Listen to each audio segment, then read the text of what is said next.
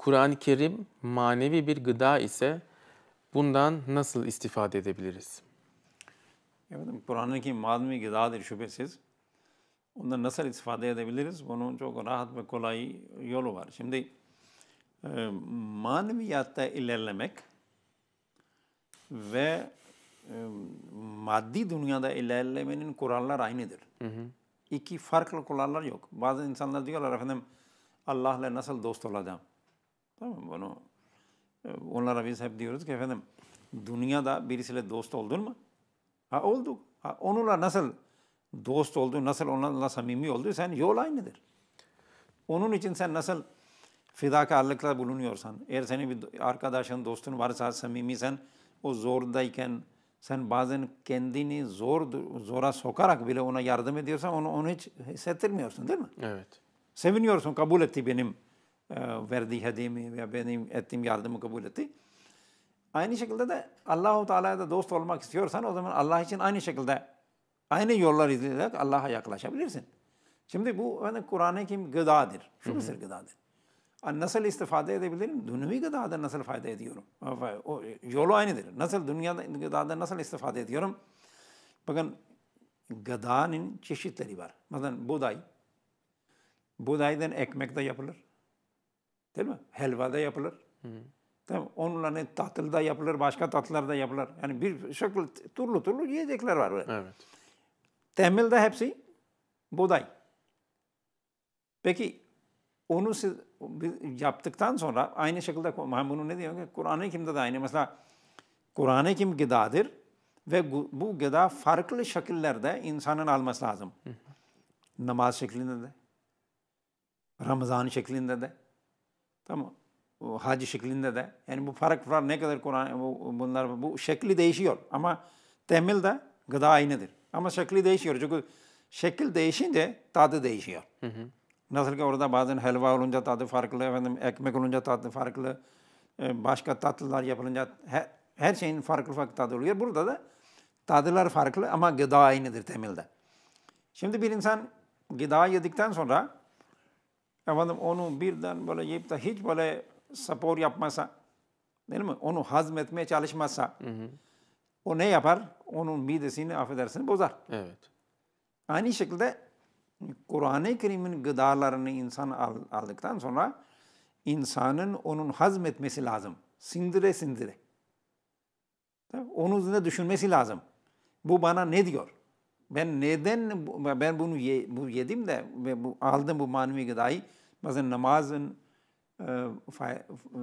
hangi alanlarda namaz benim mesela diyeyim benim kalbime mi gelir, manevi kalbime iyi gelir, gözüme mi gelir, hı hı. benim elime mi iyi gelir, nasıl ki diğer e, o kadar diğer bu gıdalarla ilgili, maddi gıdalarla ilgili o kadar çalışmalar var. İnsanlar böyle çok dikkat ederler efendim bu efendim benim e, kilo vermeme müsaade eder efendim bu efendim benim e, ne diyeyim benim grubum A'dir, kan grubu ben bunu alsam benim için daha değil falan. Böyle Hı-hı. çok çok incelikle, bu titizlikle bunu yapıyorlar ve onun sonra meyvelerini de alıyorlar. Kur'an-ı Kerim'de manevi gıdadır da bunu da bu şekilde. Efendim benim hastalığım bu. Buna bu gıda iyi gelir. Hı hı. Burada namaza dikkat etmem lazım. Burada oruça dikkat etmem lazım. Burada efendim insan haklarına, kul haklarına dikkat etmem lazım. Burada Allah haklarına dikkat etmemiz lazım. Çünkü vaat edilen Mesih Aleyhisselam diyor ki Kur'an-ı Kerim'in temelde iki emri var. Allah hakkı, kul hakkı. Kur'an'ın kalan kısmı hepsi bunun ayrıntılarından ibarettir. Bizim biz bu şekilde eğer bu manevi gıdayı alırsak o zaman bunun faydası olur.